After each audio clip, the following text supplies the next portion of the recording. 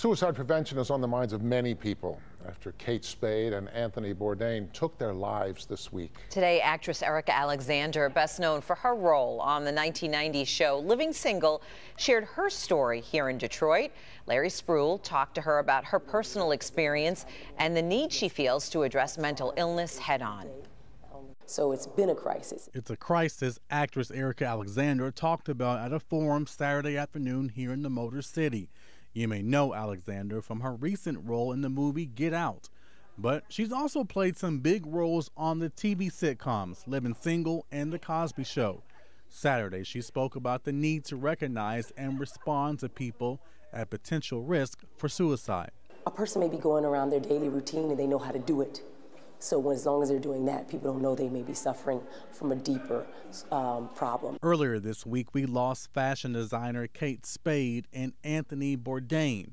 They both committed suicide. The conversation to stop suicide has reached national attention this week, but people here say that the topic of suicide should have been addressed a long time ago. It's good and sad in a way uh, that we can have this conversation because of all the um, the new press around uh, Anthony Bourdain and Kate Spade.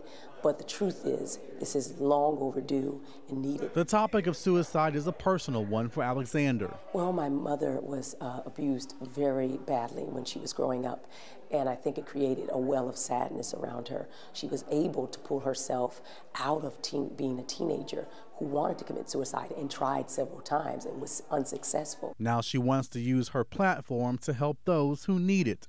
Reporting in Detroit, Larry Spruill, Local 4. Yeah, we need to talk about it.